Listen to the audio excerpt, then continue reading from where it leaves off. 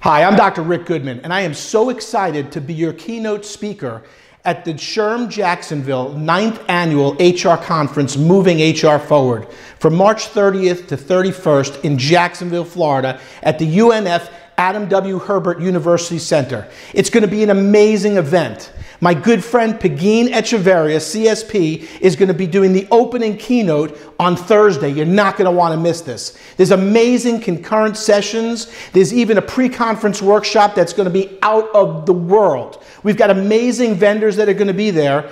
And on day two, We've got the same thing planned. More amazing classes, more concurrent sessions, and I'll be doing the closing keynote, Innovate and Engage, moving HR forward. It's your vision for the future. How are you going to work on yourself? How are you going to move things forward and be a better HR professional and build that team around you?